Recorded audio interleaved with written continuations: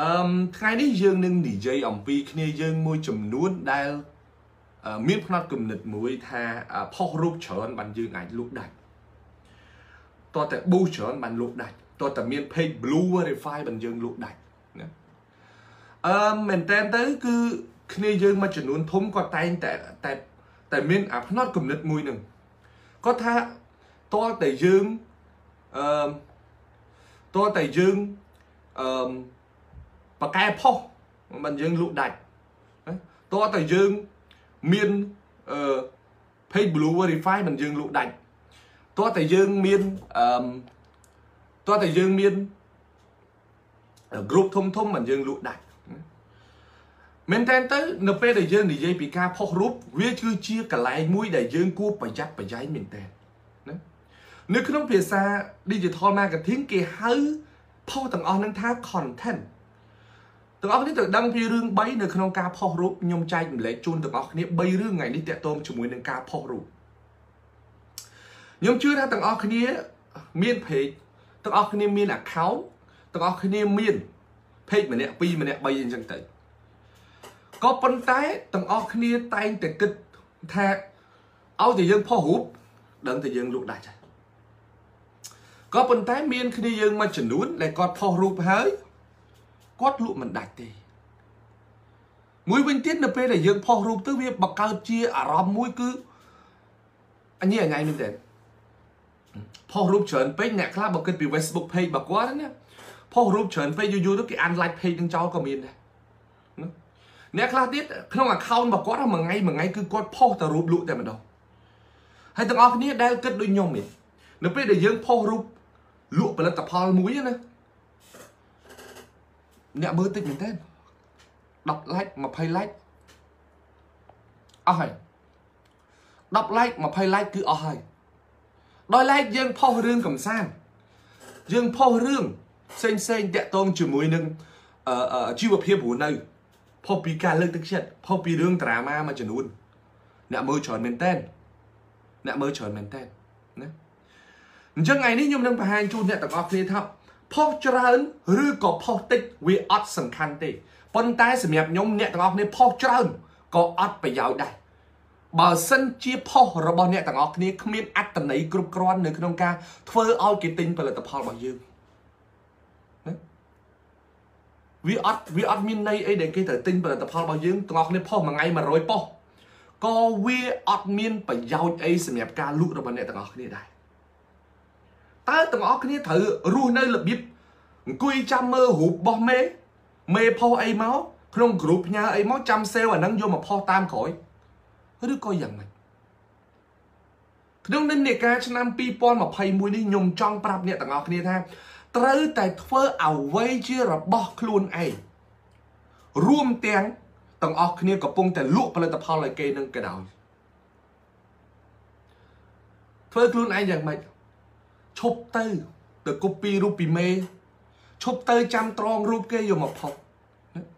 គេទិញផលិតផលរបស់យើង អាស្រ័យដោយសារគេស្គាល់គេទុកចិត្តយើងជាអ្នកលក់ប៉ុន្តែសំណួរសួរថាគ្រាន់តែរូបយើងយើងមិនហ៊ានផុសផងណាហើយតើគេនឹងជឿយើងដោយរបៀបណាគេនឹងជឿយើងដោយរបៀបណាមុននឹងផុសរូបមុននឹងផុសវីដេអូខ្លី ទាំងអស់គ្នាត្រូវដឹងពីរឿង3នៅក្នុងការផុសរឿងទាំងអស់នឹងចូលទៅក្នុង Facebook របស់អ្នកទាំងអស់គ្នា ទី1ខ្ញុំនិយាយអំពី content quality content quality ស្អីទៅជា content quality ទាំងអស់គ្នាត្រូវដឹងថាមនុស្សសម័យនេះគេសង្កត់ធ្ងន់ទៅលើអ្វីជា quality អ្វីជាគុណភាពអ្វីជាគុណតម្លៃសម្រាប់របស់គេ បើឲ្យទាំងអស់គ្នាមើលរូបភាពពីររូបភាពមួយថតច្បាស់រូបភាពមួយថតមិនច្បាស់គេមិនមើលរូបភាពទាំងអស់គ្នាដែលថតអត់ច្បាស់នឹងទេច្បាស់ណាស់ថាគេទៅមើលរូបភាពដែលដែលថតច្បាស់ទាំងអស់គ្នាឃើញសម័យនេះអ្នកលក់អនឡាញមួយចំនួនគាត់ live កាមេរ៉ាគាត់លែង live ទូរស័ព្ទហើយគាត់ live កាមេរ៉ាគឺវាច្បាស់មែនតើវាលយមែនតើ កន្លែងហ្នឹងឲ្យគេនិយាយពី quality quality ក្នុងន័យនេះខ្ញុំចង់ឲ្យអ្នកទាំងអស់គ្នាបង្កើតអីមួយថតវីដេអូអីមួយទាំងអស់គ្នាត្រូវគិតលើ quality ផងវីដេអូនឹងច្បាស់ទេ អ្នកខ្លះណាគាត់ថតវីដេអូគាត់ថតរូបភាពខ្លួនឯងណាឡើងព្រិល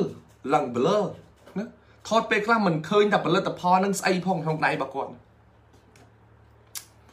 ថតមិនឃើញតែផលិតផលនឹងស្អីផងហើយថតឲ្យភ្ញៀវមើលណា ពេលខ្លះអាការយកចិត្តទុកដាក់នៅក្នុងការលក់នឹងគឺជារឿងសំខាន់បំផុតសម្រាប់អ្នកទាំងអស់គ្នាផុសរូបទី1ឬក៏ផុសវីដេអូទី1ទាំងអស់គ្នាត្រូវមាន detail ណាអ្នកខ្លះមកនេះឯងកាន់10 brand 20 brand តើវារក detail មកពីណាណាសួរថាយើងចេះដឹងពីផលិតផលនឹងអស់ទេយើងរៀបរាប់ពីគុណប្រយោជន៍របស់វាអស់ទេបើយើងម្នាក់ឯងកាន់10 brand ហ្នឹងអត់ទេ អញ្ចឹងមុននឹងផុសវីដេអូមុននឹងផុសរូបភាពទាំងអស់គ្នាត្រូវបង្កើត detail សិនតើវាមានចំណុចអីខ្លះដែលយើងយល់ដែលយើងយល់ពីវាដែលយើងដឹងពីវា បានប្រើវាខ្លួនឯងហើយនៅបានប្រើវាខ្លួនឯងហើយនៅទី2តកតងជាមួយនឹង branding នេះអា brand យើងនេះពេលខ្លះអ្នកខ្លះគាត់លក់ផលិតផលថែរក្សាសម្រស់ណា ហើយដល់ពេលគាត់ថតទៅអត់ស្អាតអានឹងមិនវិញគេទិញផលិតផលរបស់យើង គេទិញអ្នកលក់មុននឹងគេទិញផលិតផលណាគេទិញអ្នកលក់មុននឹងគេទិញផលិតផលណាអញ្ចឹងនៅពេលដែលយើងរៀបចំផុសអីមួយទាំងអស់គ្នាត្រូវគិតមើលថាតើអាផុសរបស់យើងមាន quality ដែរអត់ណាអ្នកខ្លះគាត់កាត់តវីដេអូសំឡេងនឹងលឺជាងលឺជាងអាសំឡេងយើងនិយាយហ្នឹងលឺជាង ភ្លេងហ្នឹងលឺជាងសំឡេងយើងទៀតស្ដាប់កលោកលោវល់វល់មិនដឹងចង់និយាយពីអីនិយាយមិនដឹងថាអីគួរនិយាយមុនអីគួរនិយាយក្រោយគួរនិយាយចំណុចណាខ្លះទាំងអស់គ្នាគិតមើលកន្លែងនឹងវិញមុននឹងចេញផុសមួយមួយ branding branding ទាំងអស់គ្នាមើលមកខ្លួនឯងស័កសមជាអ្នកលក់អាហ្នឹងទេពេលខ្លះទាំងអស់គ្នាជាអ្នកលក់ cosmetic ទាំងអស់គ្នាជាអ្នកលក់ថ្នាំសម្រក់គីឡូ ទាំងអស់គ្នាជាអ្នកលក់ផលិតផលនៅលើអនឡាញត្រូវធ្វើខ្លួនឲ្យស័កសមជាមួយនឹងអ្វីដែលជាផលិតផលរបស់យើងគេថាអតិថិជនជាស្ដេចតែទៅចាំពាក្យខ្ញុំថាបើយើងអន់ជាងអតិថិជនអតិថិជនមិនទិញយើងទេណាមិនទិញយើងទេអញ្ចឹងនៅក្នុង content quality ត្រូវសំដែងឲ្យគេឃើញណាថា យើងចេះដឹងពីផលិតផលច្បាស់យើងធ្វើម៉េចឲ្យគេឃើញថាយើងគឺជា អ្នកជំនាញនៅក្នុងផលិតផលមួយហ្នឹងបន្តមកទៀតទាំងអស់គ្នាត្រូវធ្វើម៉េចឲ្យឃើញថាយើងជាអ្នកជំនាញនៅក្នុងការប្រើប្រាស់ផលិតផលមួយហ្នឹងណាខ្ញុំឃើញវីដេអូមួយដែលបុរសម្នាក់គាត់បានគាត់ជាអ្នកលក់ទឹកអប់ណាគាត់ធ្វើវីដេអូតាក់ទងជាមួយនឹងការប្រើប្រាស់ទឹកអប់ដើម្បីឲ្យចំណេញសម្រាប់ខ្លួនឯងអានឹងតាក់ទងជាមួយ content ដែរ នេះជាចំណុចទី1ទាំងអស់គ្នាត្រូវគិតថាស្អីទៅជា content quality ណាកុំធ្វើឲ្យរួចរួចពីដៃណារូបភាពត្រូវតែស្អាតវីដេអូត្រូវតែច្បាស់លាស់និយាយឲ្យមាន clear ខ្លងនិយាយឲ្យមាន ពាក្យពេចន៍ដែលគេអាចស្ដាប់បាន Yes អញ្ចឹងនេះជាចំណុចទី1សួស្តីទាំងអស់គ្នាដែលមកក្រោយណាថ្ងៃនេះយើងនិយាយអំពី content យើងនិយាយអំពីការផុសរូបតើការផុសរូបច្រើនសិតតែធ្វើឲ្យយើងលក់ដាច់មែនដែរឬអត់ ណាប៉ុន្តែសម្រាប់ខ្ញុំថ្ងៃនេះខ្ញុំថាលក់ដាច់ឬមិនដាច់វាអាស្រ័យទៅលើអត្តន័យនៃរូបភាពដែលយើងផុសទេ វាចំណេញដល់ការលក់យើងកម្រិតណានេះជាសំណួរដែលខ្ញុំទទួលបានពីគ្នាយើងហើយគាត់ថាអឺមិនផុសលក់វាមិនដាច់យកផុសច្រើនពេកគេធុញតែខ្ញុំគួរធ្វើម៉េចនេះជាចម្លើយដែលខ្ញុំឆ្លើយប្រាប់អ្នកទាំងអស់គ្នាក្នុងវីដេអូមួយនេះ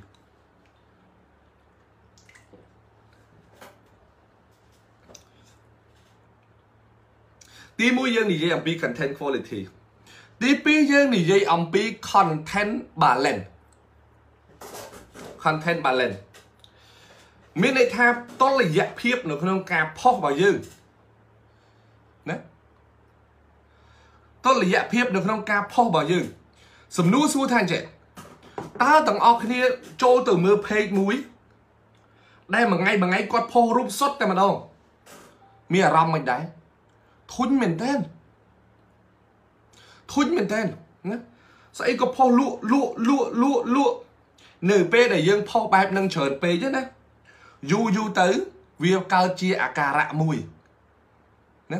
គេហៅថាម៉េចគេហៅថាអាផុសរបស់យើងនឹងគេហៅថាផុសស្អុយផុសស្អុយ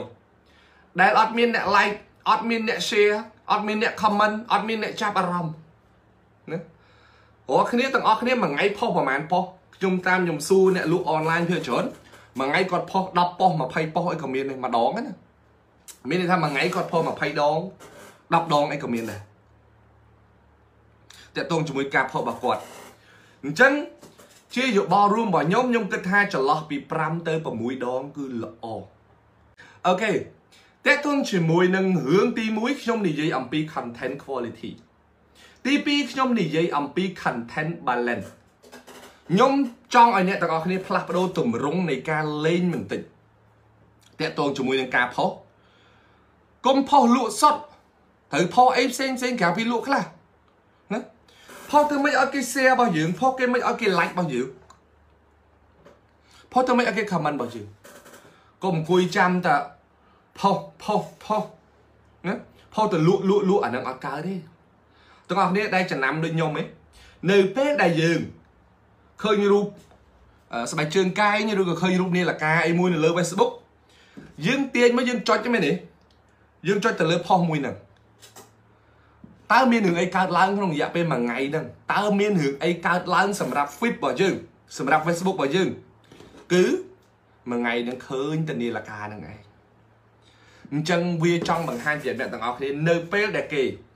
ចាប់អារម្មណ៍ទៅលើអីគេ like ទៅលើអីគេ comment ទៅលើអីមួយ Facebook វានឹងចាប់បាន នៅចំណងចំណូលចិត្តរបស់ fan យើងផុសសារក្រោយគាត់នឹងបញ្ជូនផុសទាំងអស់នឹងទៅឲ្យអតិថិជនរបស់យើង សំណួរសួរថាចុះបើ page យើងមួយថ្ងៃគ្មានអ្នក like មួយ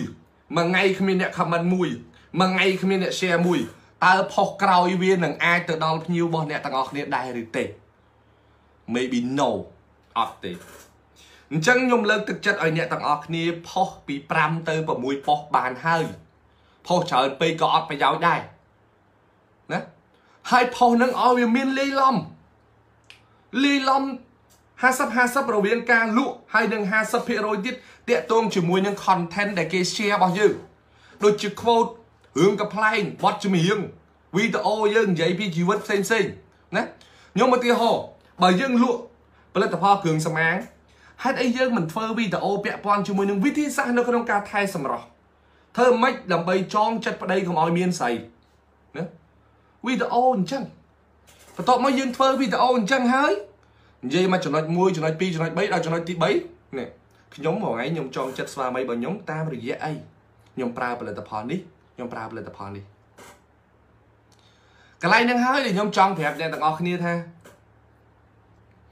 យើងធ្វើម៉េចឲ្យវាមាន balance នៅក្នុងការផុសវាមានពីរអានេះខ្ញុំហៅខ្លួនឯងណាជា content get និង content give ទី1 content get មានថា selling យើងផុសលក់នឹងយើងដូចជាទៅសុំគេឲ្យទិញផលិតផលរបស់យើងអញ្ចឹងប៉ុន្តែ content give មានថាយើងលើកទឹកចិត្តអ្នកអានយើងធ្វើវីដេអូឲ្យគេមើលណាអានឹងបានគេហៅថាផុសមានតុល្យភាព ឥឡូវទាំងអស់គ្នាសាកមើលទៅចង់ដឹងផុសលក់លក់លក់រហូតទៅតើមួយខែក្រោយមាននឹងអីកើតឡើងលើ page របស់យើងប៊ូម្ដង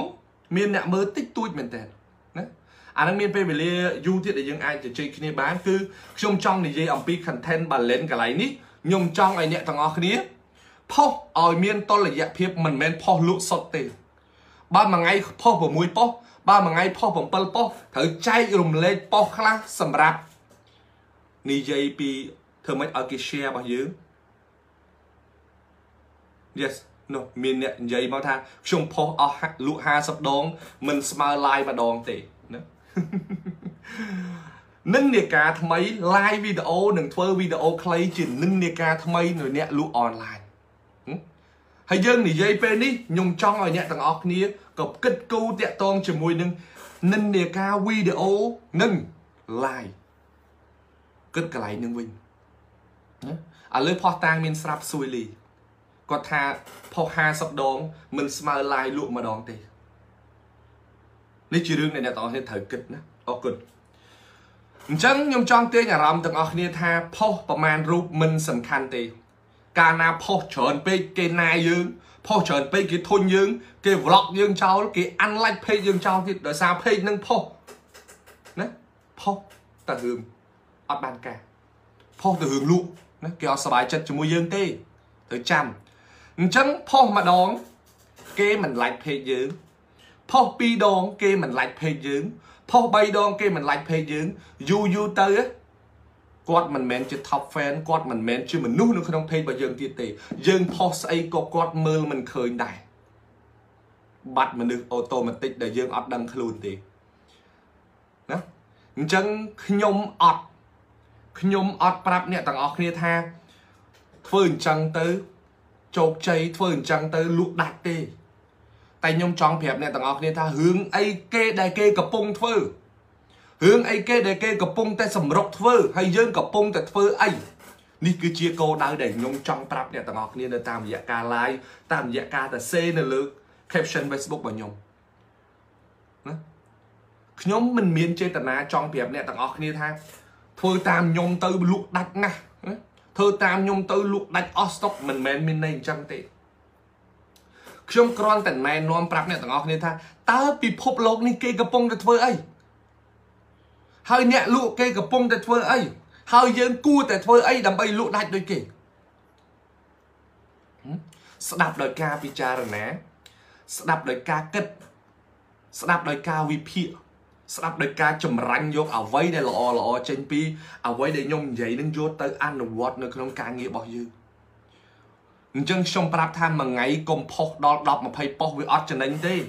យើងដឹងថាអូកាត់បន្ថយខ្ញុំប្រាប់ថាកុំប្រឹងផុសតែរូបភាពរៀនធ្វើវីដេអូខ្លះទៅរៀន live វីដេអូខ្លះទៅយើងចាប់ផ្ដើម note ទុកទៀតថាយើងបើមិនរៀន live វីដេអូទេយើងស្លាប់ហើយណា តិចទៀតខ្ញុំនឹងនិយាយពាក់ព័ន្ធជាមួយនឹងគ្នាយើងមួយចំនួនដែលកំពុងតែបោះបង់ការលក់អនឡាញចូលក្នុងសម័យ COVID-19 ហានិភ័យមែនទេហានិភ័យអូខេ page ឥឡូវ update អឺខ្ញុំមានក្រុមការងារធ្វើការខាងផ្នែកនឹងដែរហើយចាំមើលមានព័ត៌មានអីថ្មីថ្មីខ្ញុំនឹងលើកមកប្រាប់អ្នកទាំងអស់គ្នា OK OK អញ្ចឹងពីថ្ងៃហ្នឹងទៅទាំងអស់គ្នាត្រូវចាំណា post រូបត្រូវចេះកំណត់ថាគួរ post ប្រមាណដែលសមរម្យ post ប្រមាណដែលគិតថាវាអាចជួយយើងឲ្យលក់ដាច់ post ប្រមាណដែលជួយឲ្យ page យើងអាចនៅរក្សា balance នៅធម្មតា post ប៉ុណ្ណាផុសអីដែលធ្វើឲ្យ page យើងចំណេញអានេះគឺរឿងទី2រឿងទី3នៅក្នុងការផុសទាំងអស់គ្នាក៏ត្រូវចេះផលិត content មួយប្រភេទទៀតគឺ content sell point គ្នាយើងមួយចំនួនគាត់និយាយថាចេះគ្នាយើងមួយចំនួនគាត់និយាយថាប៊ូបានលក់ដាច់ប៊ូបានលក់ដាច់ប្រហែលអ្នកដែលជឿថាប៊ូលក់ដាច់ឆ្លើយមកទាំងអស់គ្នាកុំច្រឡំណាការប៊ូផេកគ្រាន់តែជាមធ្យោបាយនៃការធ្វើទីផ្សារទេសូមកុំច្រឡំថាប៊ូផេក វាទៅអូសដៃអតិថិជនឲ្យទិញផលិតផលរបស់យើងមិនមែនទេអញ្ចឹងទាំងអស់គ្នាត្រូវចេះផលិត content មួយទៀតគេហៅថា content sell point content ដែលយើងវាយប្រហារទៅលើការលក់តែម្ដងអញ្ចឹងរឿងដែលសំខាន់បំផុត ការប៊ូសខ្ញុំចង់ប្រាប់អ្នកទាំងអស់គ្នាថាបើអ្នកទាំងអស់គ្នាយល់ថា ការប៊ូសធ្វើឲ្យយើងលក់ដាច់ទាំងអស់គ្នាកំពុងតែចិញ្ចឹម Facebook ហើយ ចិញ្ចឹម Facebook ហើយណាខ្ញុំកំពុងតែ live លើ Facebook និយាយរឿង Facebook តិចមានរឿងអីបើអ្នកទាំងអស់គ្នាគិតថា book page បានលក់ដាច់មួយថ្ងៃដាក់1000មួយថ្ងៃដាក់2000ណាអានឹងបានលក់ដាច់ no គិតខុសហើយគិតខុសហើយញោមអញ្ចឹងអ្វីដែលយើងត្រូវគិតពេលនេះគឺប្រៀបដូចជារឿងនេះមួយអញ្ចឹងខ្ញុំលើកឧទាហរណ៍ អឺម៉ូតូមួយលក់នំប៉័ងនៅតាមផ្លូវមុខផ្ទះរបស់អ្នកទាំងអស់គ្នាណាសំលេងមេក្រូលក់នំប៉័ងហ្នឹងណាវាស្រែកថាម៉េចនំប៉័ងអីចឹងទៅបាក់ចុងទៅដោះគោអីចឹងទៅទាំងអស់គ្នាលឺមែនទេលឺថានំប៉័ងមកហើយចុះទាំងអស់គ្នាដែរទិញនំប៉័ងទេទាំងអស់គ្នាដែលទិញនំប៉័ងនៅតាមមុខផ្ទះរបស់អ្នកទាំងអស់គ្នាដែរអត់ ចម្លើយគឺភាកតិចមែនតែនសុកចិត្តជីទៅទូលេស៊ូទៅទិញនៅទូលេស៊ូតម្លៃខុសគ្នា1និង2ហេតុអីអាការប៊ូសប្រៀបដូចជាអ្នកលក់នំប៉័ងអញ្ចឹងពេលខ្លះ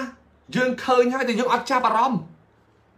ណាមិនដឹងទៅលក់ស្អីមិនដឹងផលិតផលស្អីអញ្ចឹងអ្វីដែលយើងធ្វើនេះគឺ របស់ដែលសំខាន់គឺវីដេអូរបស់យើងវាចាក់ដោតកម្រិតណាវីដេអូរបស់យើងធ្វើឲ្យគេចង់ទិញកម្រិតណាអញ្ចឹងអាការប៊ូសនេះវានឹងនាំវីដេអូរបស់យើងទៅឲ្យមនុស្សគ្រប់គ្នាបានឃើញប៉ុន្តែទិញមិនទិញអាស្រ័យលើអ្វីដែលអ្នកទាំងអស់គ្នាបានធ្វើនៅលើ Facebook វាមិនអាស្រ័យទៅលើទឹកលុយដែលអ្នកទាំងអស់គ្នា boost ទេ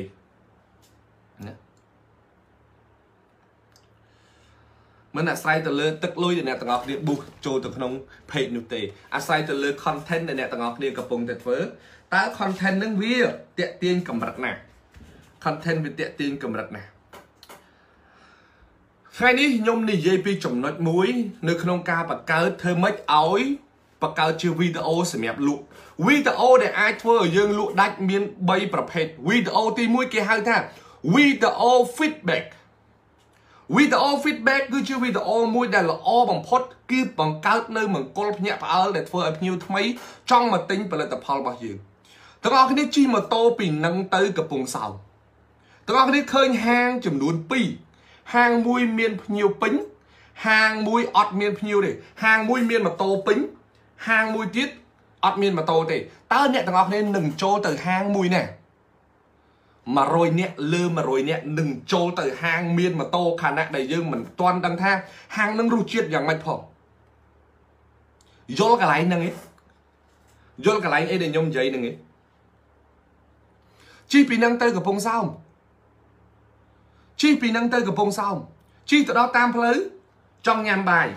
ស្រាប់តែមានភោជនីយដ្ឋាន2ភោជនីយដ្ឋានមួយភោជនីយដ្ឋានមួយ មានឡានពេញភោជនីយដ្ឋានមួយគ្មានឡានចតទេតើទាំងអស់គ្នានឹងសម្រេចចិត្តទិញចូលទៅក្នុងហាងមួយណាចម្លើយចូលទៅក្នុងហាងដែលមានមនុស្សច្រើនទោះបីជាយើងមិនទាន់ដឹងថាវាឆ្ងាញ់មិនឆ្ងាញ់សេវាល្អឬមិនល្អក៏ដោយក៏យើងដឹងតែចូលហើយសួរតែហេតុអីអានឹងគេហៅថា feedback របស់ភ្ញៀវ feedback របស់ភ្ញៀវ ភ្ញៀវវាប្រាប់ feedback មកថាកន្លែងហ្នឹងគឺគេទិញចេញចូលចេញចូលចេញចូលវាគឺជារូបភាពមួយដែលញ៉ាំងអានេះញ៉ាំង brand របស់យើងឲ្យគិតថាសម្រាប់ចិត្តភ្លាមភ្លាមទៅក្នុងការទិញផលិតផលមួយហ្នឹងដូចគ្នាទាំងអស់គ្នាត្រូវចេះផលិតវីដេអូជា feedback ដើម្បីឲ្យភ្ញៀវទិញផលិតផលរបស់យើងណាទាំងអស់គ្នាមិនចាំបាច់ខ្វល់រឿង promotion ច្រើនពេកទេសំខាន់សួរថាតើនៅក្នុង page របស់អ្នកទាំងអស់គ្នា មានចរាចរភ្ញៀវដែរអត់ ទៅធ្វើអាហ្នឹងឲ្យភ្ញៀវថ្មីឃើញអាហ្នឹងមិនគេទិញផលិតផលរបស់យើងគ្នាយើងមួយចំនួនប៊ូប៊ូប៊ូអត់បានគិតរឿងហ្នឹងទេអត់បានគិតរឿងហ្នឹងទេហើយគ្នាយើងមួយចំនួនសួរខ្ញុំចេះលោកគ្រូអឺចុះបើភ្ញៀវទិញអីវ៉ាន់ទៅនេះយើងថតអីវ៉ាន់ផុសកើតអត់បានអត់បានប៉ុន្តែសួរថាវាធ្ងន់អត់អត់ទេណាគេជឿអត់អត់ទេមិនសួរគេថាយើងថតបោកគេទៅមិនដឹង មានវិធីមួយដែលយើងអាចធ្វើរឿងនឹងបានគឺមិនបាច់ថតអ្វីដែលជាកញ្ចប់អីវ៉ាន់ថងថងយើងមិនបាច់ថតទេអ្វីដែលធ្ងន់បំផុតគឺសុំតែពាក្យមកឃ្លាពីភ្ញៀវមកថាបងអើយប្រើទៅល្អណាស់បងអើយប្រើទៅត្រូវណាស់បងអើយប្រើទៅភ្ញៀវណាប្រើទៅប្តីអត់អត់អត់ចេញក្រៅផ្ទះទេបងអើយប្រើបានតែមួយអាទិត្យមុខឡើងអាលងណាយកអាឃ្លាខ្លងទាំងអស់នឹងយកមកធ្វើជា feedback វិញបានល្អ បើយើងអង្គុយទៅផុសអវ៉ាន់ចេញហើយចេញហើយពេលខ្លះទៅណាគេថាយើងបោកគេគេថាយើងបោកគេ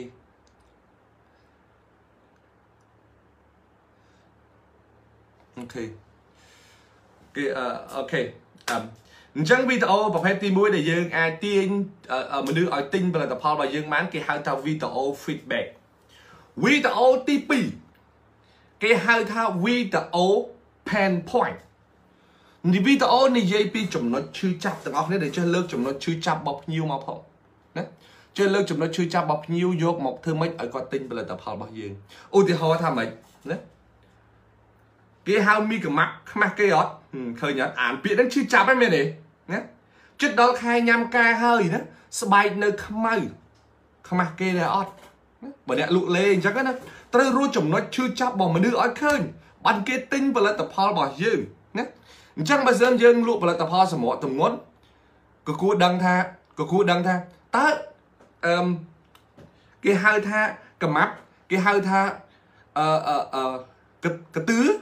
មានអារម្មណ៍ថាខឹងអត់មានអារម្មណ៍ថាឈឺចាប់អត់ត្រូវចេះរួចចំណុចនឹងយកមកធ្វើជា caption យកមកធ្វើជាសាច់រឿងក្នុងវីដេអូរបស់យើងក្នុងវីដេអូរបស់យើងអានឹងមិនគេទិញផលិតផលរបស់យើងណាត្រូវឆ្លាតធ្វើវីដេអូអញ្ចឹងអញ្ចឹងណាមុខមុន5ឆ្នាំហើយ មុខមុន3ឆ្នាំហើយណាកាលណាណាកាលណាបានកាលណាបានយកបានព្រមធ្វើខ្លួនជាមនុស្សស្អាតដូចគេទៅចេះរួចចំណុចចាក់ដោតអញ្ចឹងណា2021ហើយនៅចាំដល់ណាទៀតមិនព្រមកែសមុខបំផោះចេញយើងទៅរួចចំណុចចាក់ដោតឲ្យគាត់ឃើញណាមុខចឹងណាយោ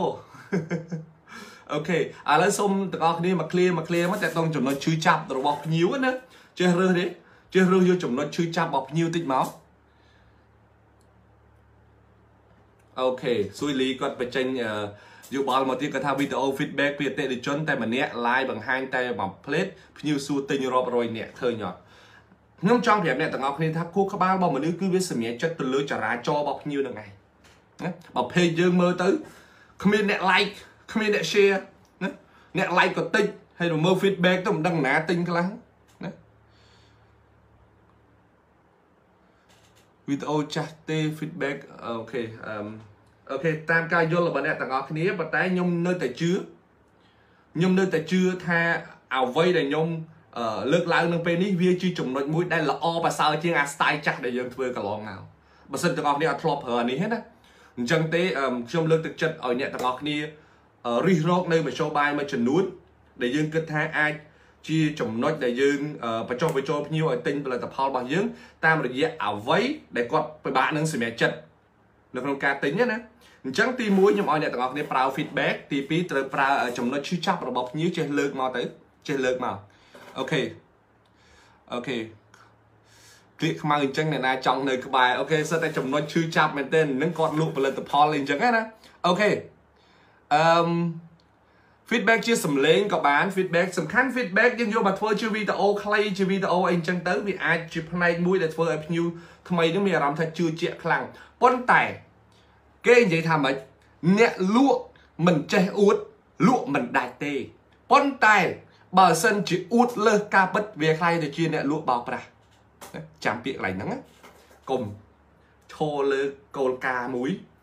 យើងធ្វើអ្វីដែលជារឿងពិតយើងធ្វើអ្វីដែលជាសច្ចធម៌របស់យើងហើយចាប់ផ្ដើមធ្វើការទៅអូខេអញ្ចឹងទី2ទី3ទី3គេហៅថា video 2 bro video 2 bro video 2 bro ហ្នឹងគឺសំដៅទៅលើ bro ពីរគឺ product and bro problem product and problem ចំណុចពីរនេះ អតិថិជនទិញលកឹកណា ដែល product វា attach ទៅកាន់ problem ចាំអតិថិជនអាចនឹងចាយលុយលកឹកណា ដែល problem attach ទៅកាន់ product របស់យើងខ្ញុំសួរសំណួរថាខ្ញុំមានវីតាមីន C មួយអំពង់នេះណាខ្ញុំមានវីតាមីន C មួយអំពង់នេះហើយខ្ញុំប្រាប់ថាម៉េចអ្នកមកទិញខ្ញុំ ប្រកាសណាស់ថាគាត់មានបញ្ហាច្រើនណាប៉ុន្តែត្រូវចេះតម្រង់ផលិតផលយើងឲ្យចំបញ្ហាធំធំរបស់ភ្ញៀវណាឧទាហរណ៍វីតាមីន C វាជួយអីវាជួយភ្នែកណាវាជួយភ្នែកអញ្ចឹងទៅទាញមកណាទៅទាញមកណាទៅទាញអ្វីដែលគិតថាវាជាចំណុច two bro product and problem ដាក់វាឲ្យជាប់គ្នាមករួចចំណុចដែល link គ្នាណា link គ្នាតើផលិតផលរបស់យើង វាអាចដោះស្រាយបញ្ហារាប់រយមុខ ប៉ុន្តែសួរថាបញ្ហាអីគេដែលសំខាន់សម្រាប់ភ្ញៀវខ្លាំងជាងគេនៅក្នុងផលិតផលរបស់យើងណាអូខេគិតមើលកន្លែងនេះវិញហើយវីដេអូប្រភេទនេះក៏អាចជួយឲ្យអ្នកទាំងអស់គ្នាលក់ដាច់បានដែរពួកអីផលិតផលរបស់យើងខ្ញុំឧទាហរណ៍បាកាសណាបាកាសស្គាល់បាកាសហ៎បាកាសវាមានធាតុផ្សំវាច្រើនណាស់ដែលយើងអាចជួយបើកម្លាំងបើអីផ្សេងផ្សេងប៉ុន្តែបើកាសចេះទាញរកស្ថានភាពមួយគឺ បន្សាបជាតិស្រវឹងនៅពេលបើកបរឃើញវាជាបញ្ហាធំ ដែលគេចង់ទិញទេតែពិតផលិតផលដូចបាកាសមានច្រើនណាស់មានច្រើនណាស់ប៉ុន្តែហេតុអីបានជាគេឲ្យតែពេលគេបើកបរគឺក្នុងឡានមានបាកាសហេតុអីគេមិនទិញផលិតផលផ្សេងបើដូចតែគ្នាហ្នឹងបើសារអីបាកាសវាអាចថាច់ទៅកាន់ problem ធំជាងគេ នៅក្នុងផលិតផលដូចដូចគ្នាណានេះគឺជាអ្វីដែលយើងគិតថាតម្រង់ខ្លួនឯងទៅធ្វើអារឿងហ្នឹងវិញ OK អឺមនិយាយចុះនិយាយឡើងខ្ញុំមានអារម្មណ៍ថា hot hot បន្តិច OK អឺមសូមជូនទាំងអស់គ្នាប៉ុណ្ណឹងថ្ងៃនេះយើងនិយាយអំពីមូលហេតុដែលយើង post រូបច្រើនតែអត់មានអ្នកមើលហើយសង្ឃឹមថាវាវែងញែកបានច្រើនហើយអ្នកដែលមើលតាំងពីដើម live មករហូតមកដល់ម៉ោងនេះក៏ប្រហែលជាបានយល់ច្រើនខ្ញុំជឿថាយល់ច្រើនសូម្បីតែខ្ញុំខ្លួនឯងក៏ខ្ញុំយល់ច្រើនដែរដោយសារតែខ្ញុំនិយាយទៅម្ដងហើយម្ដងទៀតវាអាចធ្វើឲ្យយើងយល់កាន់តែច្រើនជាងមុន អូខេអរគុណសម្រាប់ការតាមដានស្ដាប់របស់អ្នកទាំងអស់គ្នាខ្ញុំ live តាំងពីម៉ោង9មកឥឡូវម៉ោង9កន្លះកន្លះម៉ោងសង្ឃឹមថាអ្វីអ្វីវានឹងល្អប្រសើរហើយសង្ឃឹមថាខ្ញុំចង់ឃើញអ្នកទាំងអស់គ្នាអឺឆ្លាតជាងមុននៅក្នុងការលក់ទាំងអស់គ្នាមានវិធីសាស្ត្រល្អល្អជាងមុននៅក្នុងការលក់យុទ្ធសាស្ត្រវិធីសាស្ត្រមិនមែនល្បិចទេណាទាំងអស់គ្នាត្រូវរស់នៅលើយុទ្ធសាស្ត្ររស់នៅលើវិធីសាស្ត្ររស់នៅលើសកម្មភាពមួយដែលគិតថាវាអាចជួយឲ្យ យើងបកកែជាងមុនហើយញូឲ្យយើងសប្បាយចិត្តជាងមុនមិនមែនរលល្បិចដើម្បីលក់ដាច់ទេណាទាំងអស់គ្នាមានតែប៉ុណ្្នឹងជូនអ្នកទាំងអស់គ្នាអរគុណសម្រាប់ការតាមដាន